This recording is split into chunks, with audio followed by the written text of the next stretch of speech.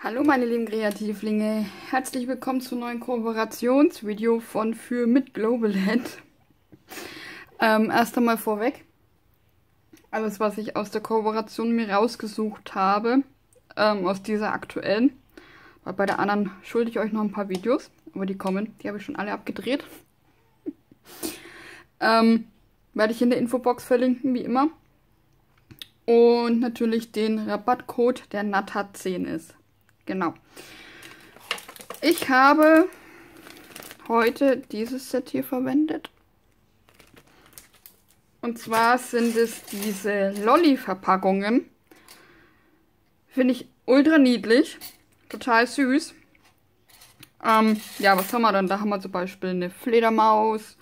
Da habe ich die ganzen Kleinteile rein übrigens, weil, ja, genau. Äh,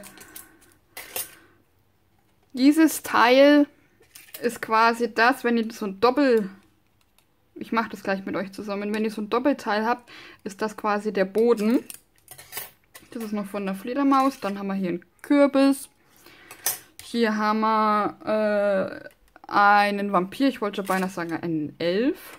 Das gehört auch zum Vampir dazu.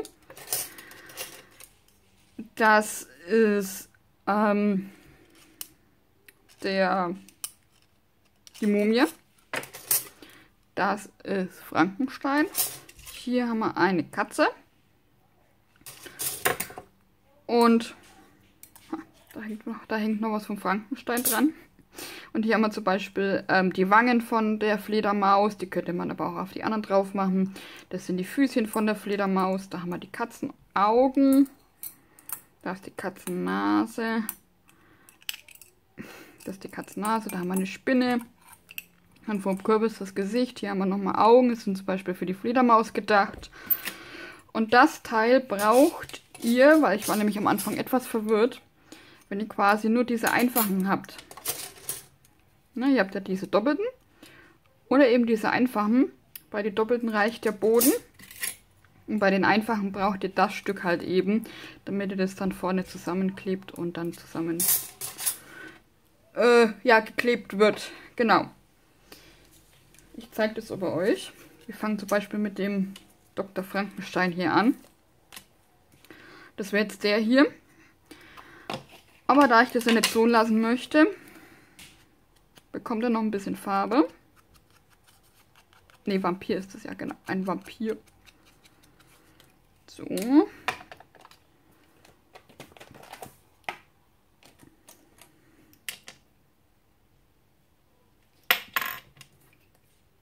seine Narben. Okay. Dann klebe ich mal seine Haarpracht an.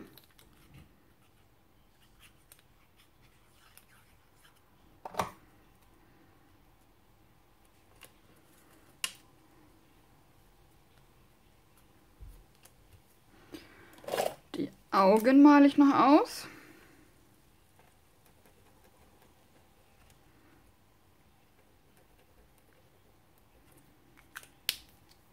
Ein bisschen realistischer ist. Übrigens werden die Sachen hier geprägt. Na, hier sieht man die Zähnchen, da ist die Nase, dann Na, ich hoffe, man kann es gut erkennen.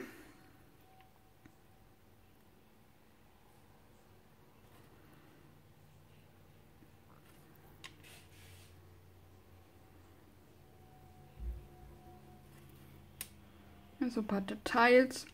Weil ich finde nämlich echt ultra niedlich. Und wenn vielleicht ein paar Kinder bei uns vorbeischneien, werde ich auf jeden Fall noch ein paar machen. Aber bis dahin habe ich ja noch ein wenig Zeit. So, wo ist mein Falzbein? Dann brauchen wir dieses Teil hier. Also ich muss sagen, bis jetzt war auch keine Falzlinie eine Schnittkante oder halt das, was es nicht sein sollte. Passiert hier ab und zu mal. Und hier oben noch einmal. Da kommt dann der Lolli durchgesteckt.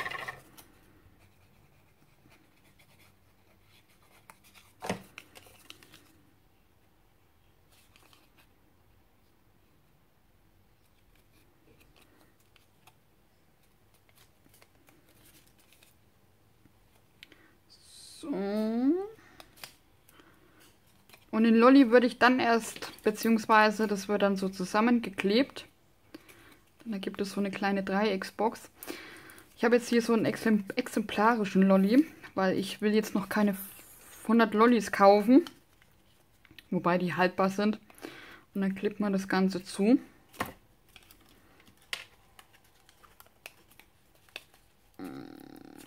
So, dann klebt man das Ganze zu. Aber das mache ich jetzt nicht, weil wie gesagt ich noch keine Lollis hier habe, nur den einen hier. Und es wäre Blödsinn, wenn ich jetzt alle zukleben würde. Ich zeige euch aber dann die anderen. Jetzt machen wir zusammen noch die Fledermaus, weil ihr jetzt gesehen habt, wie das mit dem langen Teil funktioniert. Und hier ist die Fledermaus mit ihren Einzelteilen. Ja, da habt ihr dieses Doppelte. So. Das knickt ihr einfach so um.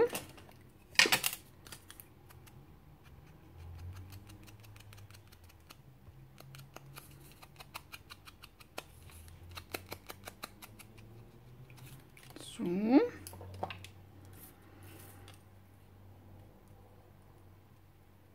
Und hier sind die ganzen Einzelteilchen. Jetzt muss ich erstmal selber gucken. Die Flügelchen.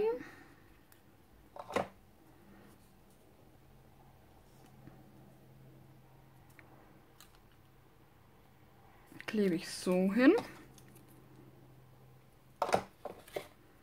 Umgefallen.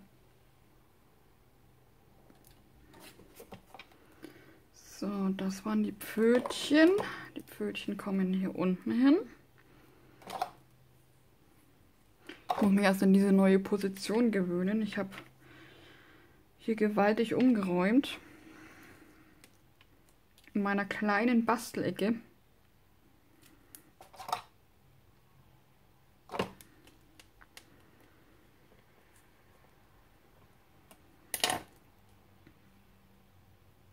Deswegen seht ihr auch hier einen weißen Tisch. Aber so habe ich tatsächlich mehr Platz. So, dann gibt es da noch die Wänkchen.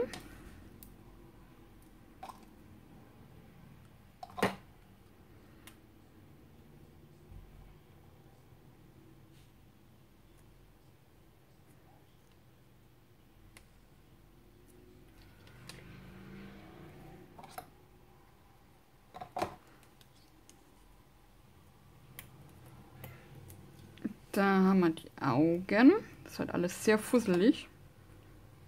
Was tatsächlich nur überwiegend bei der Fledermaus, wo so viel zum Kleben ist. Trotzdem finde ich die ultra niedlich. Ja. Ist noch nicht angetrocknet. So, dann kriegt sie noch die weißen Zähnchen.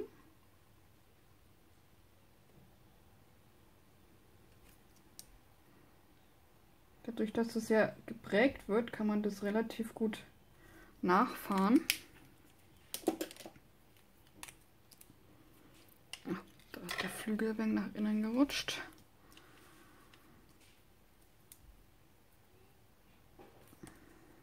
Jetzt mag der Stift nicht mehr.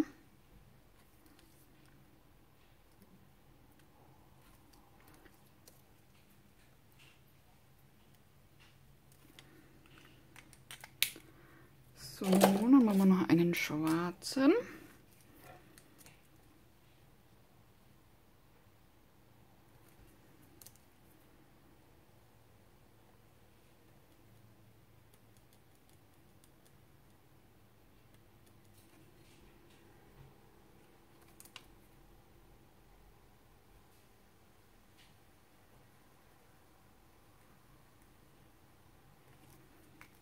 Und da ist das Wänkchen ein bisschen verrutscht. So. Nochmal einen schwarz, äh, weißen. Und dann kommen noch die Lichtpunkte in die Augen. Na, mag nicht. So. Dann wird es hier umgefalzt.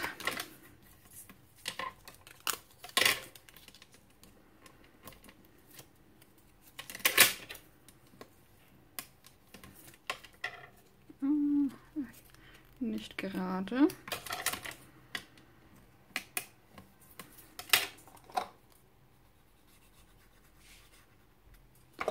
So, das wird nämlich auch erstmal nur an einer Seite festgeklebt.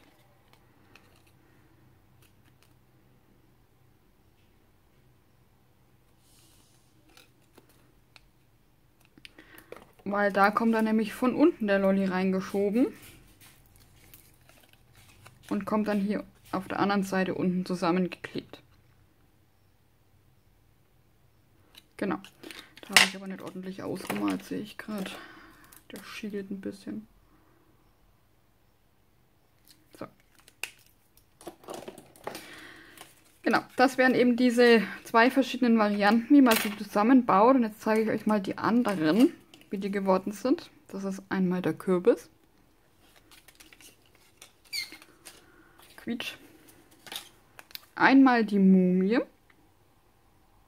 Ich habe jetzt rosa Bänkchen gemalt, man könnte das aber eben auch ausstanzen und aufkleben. Dann hier Frankenstein. Und die Katze. So, jetzt tue ich schnell noch was vorbereiten und dann machen wir noch ein anderes Projekt damit. Aber ja, muss ich erstmal ausstanzen. So, ich hoffe, ich habe jetzt soweit alles vorbereitet. Und zwar habe ich jetzt die Fledermaus einmal in Grau ausgestanzt, beziehungsweise nur die Hälfte, weil die andere Hälfte braucht man nicht. Das machen wir aber gleich. Wir fangen jetzt erstmal mit was an, was länger dauert zu trocknen. Hier habe ich einen Kartenaufleger.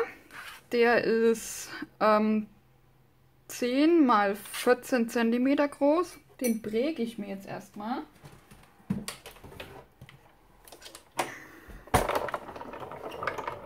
Mal gucken, wie das Sandwich wieder gehört.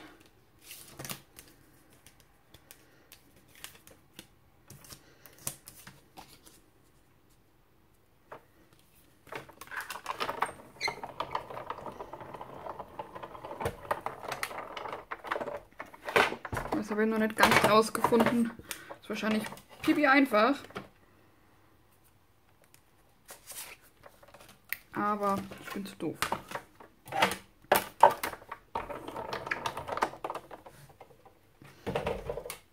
So. So schaut's aus. Ah ne, jetzt habe ich die Farben vergessen, seht ihr? Ich wusste, dass ich irgendwas vergessen habe.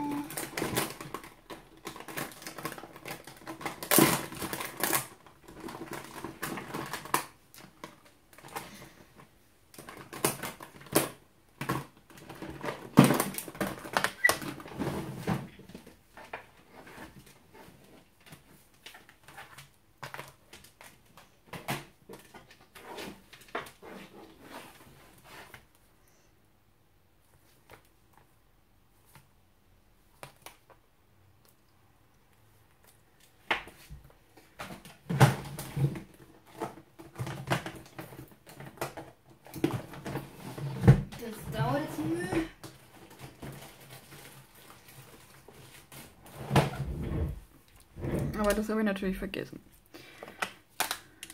So.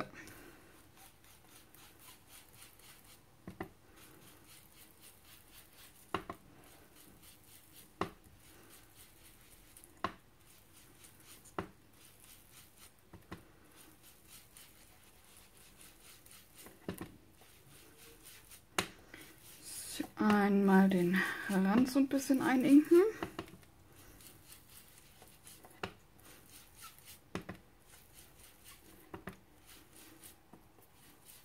Damit kann man nämlich auch die Figuren so nehmen und eine Karte basteln. Ich habe jetzt halt die Fledermaus genommen. Aber könnte man auch mit den anderen machen. Quietsch, quietsch, quietsch, quietsch, quietsch, quietsch. So. Der kann dann weg.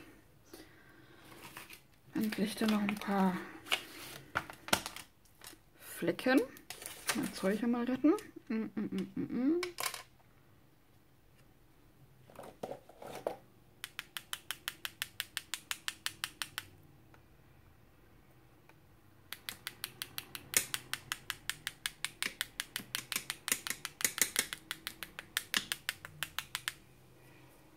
Okay, das mache ich dann später sauber. Aber das dauert jetzt natürlich ein bisschen, bis das trocken ist. Dann habe ich hier einen Kreis ausgestanzt in Gelb. Und auch da habe ich natürlich keine Farbe hier.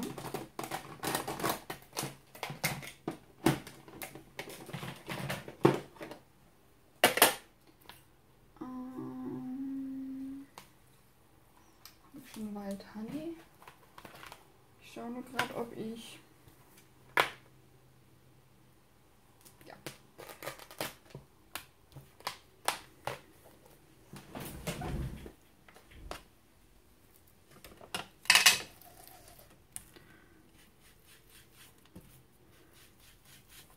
Ja, ist dunkel genug. Ja.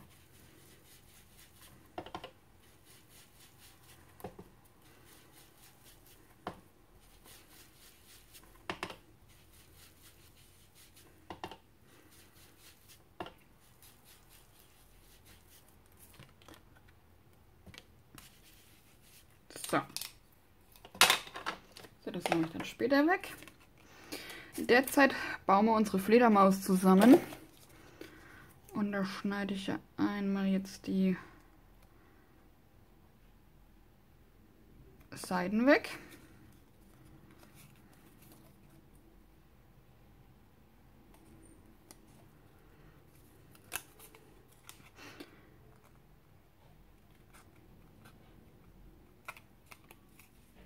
So, da ist noch ein wenig unschön. Okay. Dann kleben wir sie mal zusammen. Ich habe hier schon mal soweit alles vorbereitet. Ah ne, noch Inken. Wo ist mein Schwarz? Da.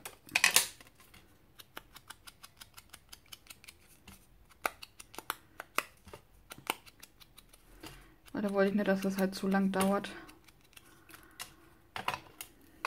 Deswegen habe ich das schon mal vorbereitet.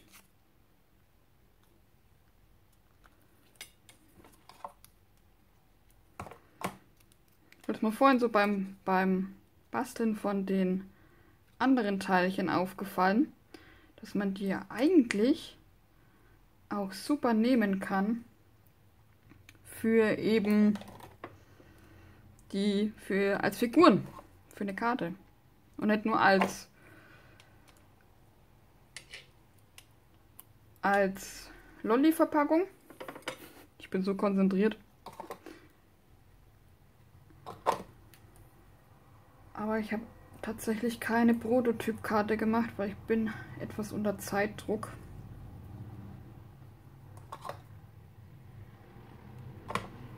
Und dann habe ich mir eben gedacht,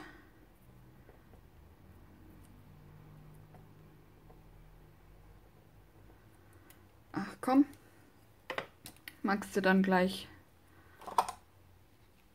im Video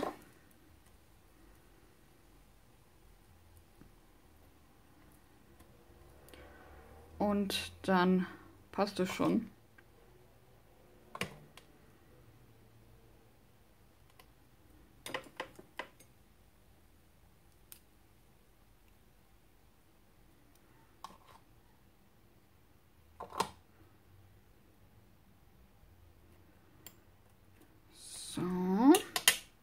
Dahinter brauchen wir noch rosane Ecken.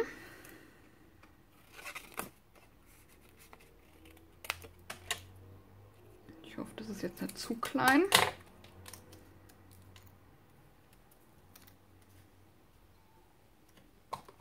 Das geht.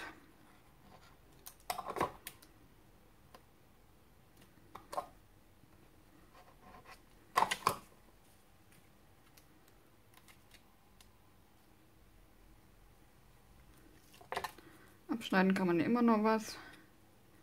Oder auch nicht. Ist verrutscht. Da muss ich Mühe abschneiden. So. Jetzt malen wir das Ganze wieder an. So wie vorhin. Eigentlich müsste man den Tisch schnell sauber machen.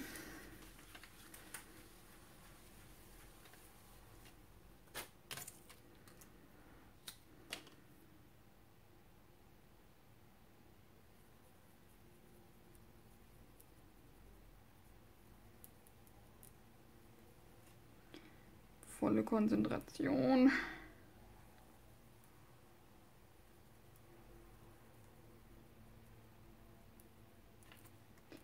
So, noch den Schnutenmund.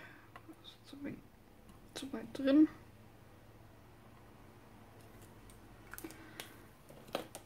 Und dann die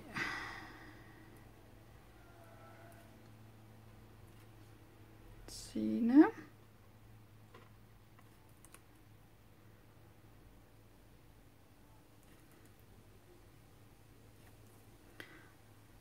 Und die Lichtpunkte.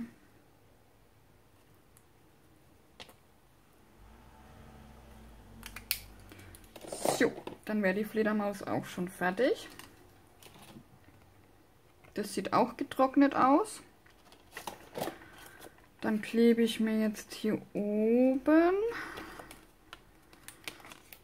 den Mond hin.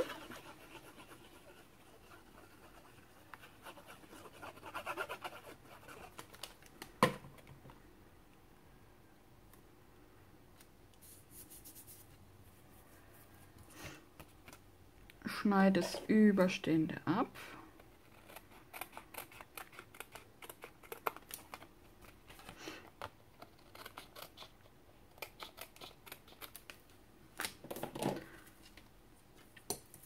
Dann brauche ich noch mein Kartenrolling. 10,5.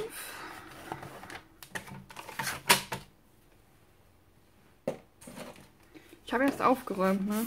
Es war so ordentlich alles hier. Und ich habe schon wieder keinen Platz mehr. Ja gut, ich bin mitten beim Basteln.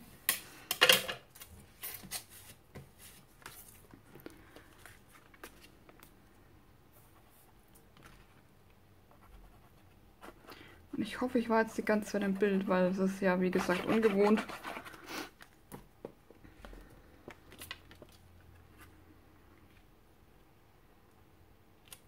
So. Der kleine Kerl, der kriegt 3D-Pads drauf. Hm, ist ein bisschen zu breit. Muss ich einen Ticken schmäler machen.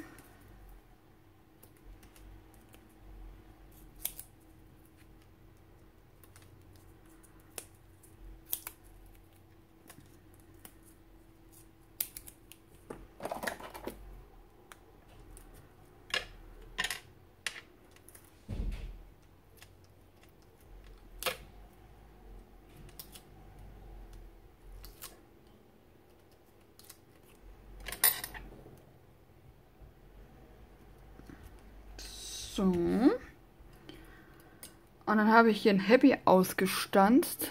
Fokus. Und zwar ist es aus dem Set hier. Da ist ein Happy Halloween dabei mit den großen Tags. Und da möchte ich aber gern einen Schatten machen. Wo ist es denn jetzt? Da. Ja. Ist ein abzuzwicken. Der Nupsi da.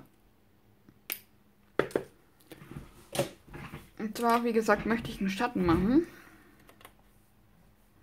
Und dann lege ich mir die Standschablone einfach auf das Papier, was der Schatten werden soll.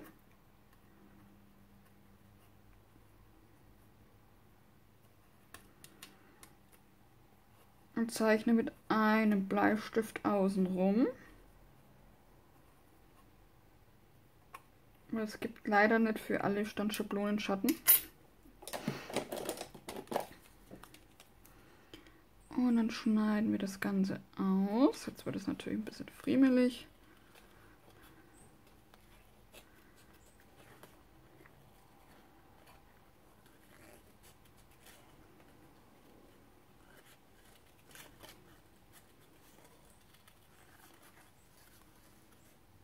Muss man nicht machen, aber ich wollte es ein bisschen hinterlegen.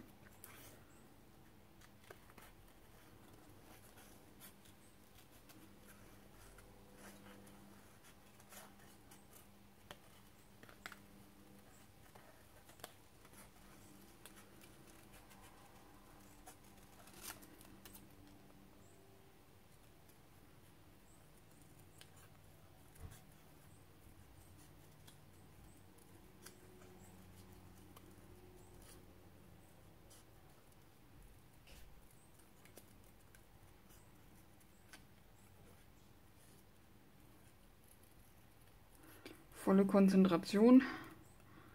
Vielleicht bin ich auch einigermaßen im Bild. Muss mich erst noch an die Position gewöhnen. So. Okay. Den Rest radieren wir weg. Nicht knicken. Und dann kleben wir das Happy einmal auf.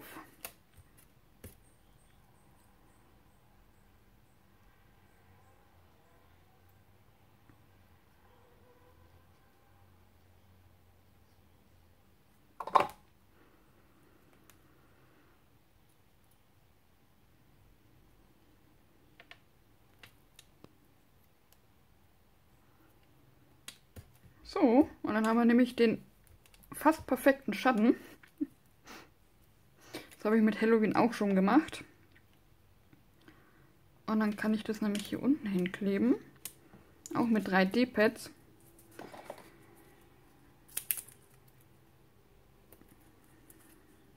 Ist natürlich etwas Arbeit, aber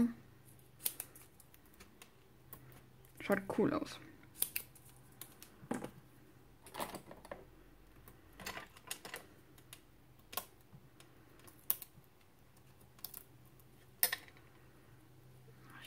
Ein wenig weiter oben, Fledermaus. Äh, ein wenig zu weit unten.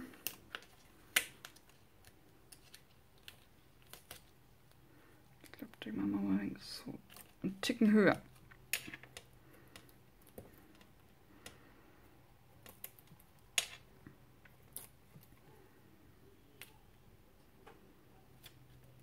So, dann stand sie noch ein paar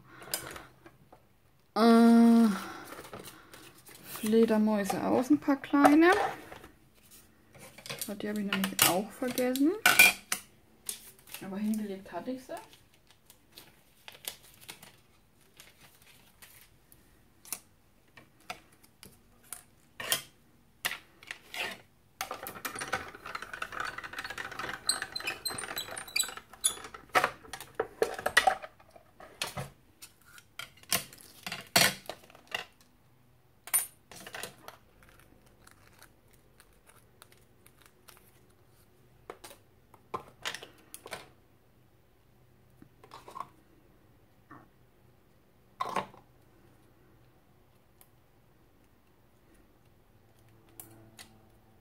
Na, bleibt kleben.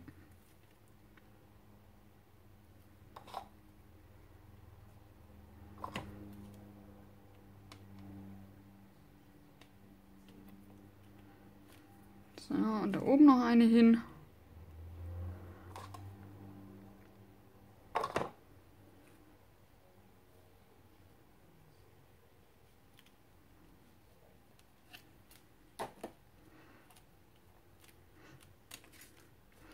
So kann ich eben aus diesen Figürchen, ne, wenn man jetzt da bedenkt, wo ist sie denn? Da. Klar ist eine andere Farbe, aber so kann ich, kann ich eben aus den Figürchen auch eine Karte zaubern. Man muss es ja nicht rein als äh, Verpackung sehen. Meine lieben Kreativlinge, ich sage Dankeschön fürs Zusehen.